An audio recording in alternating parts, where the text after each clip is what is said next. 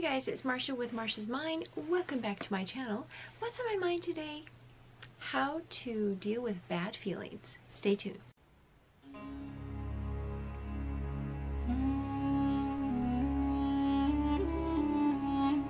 So bad feelings.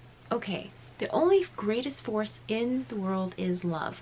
When you have bad feelings, that's just the absence of love.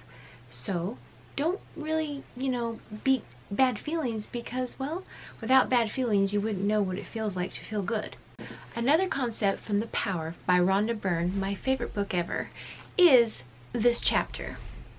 It's on page 90 if you have that book. You can change anything in your life by how you feel. But in changing the way you feel, don't try to get rid of bad feelings because all that is is just a lack of love. Take for instance a glass of water. Just like this glass of water. It's half full, half empty. And no, this is not the analogy of are you a kind of half full, half empty, you know, cup guy and gal or whatever.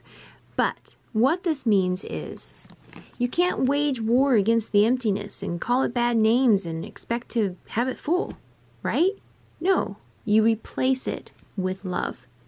So say this is your body and this is love and this is heat, ah, bad mood, bad mood. Well, you can't resist it because more is going to come or it's just, just going to stay that way, right?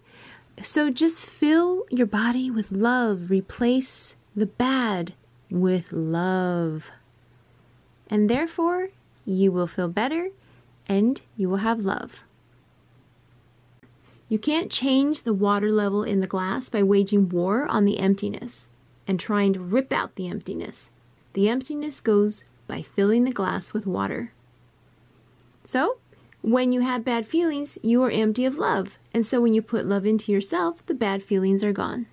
If you have bad feelings and you're feeling bad about having the bad feelings, you're just going to make things worse because it grows. Because what you focus on and you resist grows. It'll also increase the negativity you're giving out. For example, today I was in a grouchy mood at work for an instance and I was thinking, wait a minute, let me change this around because I'm going to give that energy out and that's the kind of energy I'm going to get back on the phones. So I just thought about whatever made me happy. I thought about this, this, this, this, this, boom.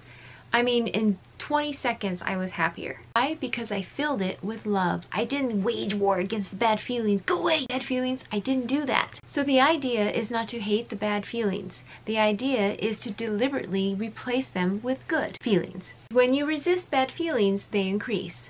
What you resist persists. The more you resist anything in life, the more you bring it to you. Like you know, Mother Teresa, she said, do not, don't invite me to a war rally. Invite me to a peace rally. Why?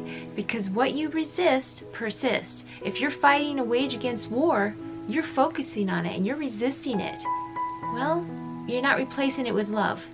There's a quote in this book somewhere and I love it so much. It's, um, hate is not conquered by hate. Hate is conquered by love. And I forgot who said it, but it's in this book.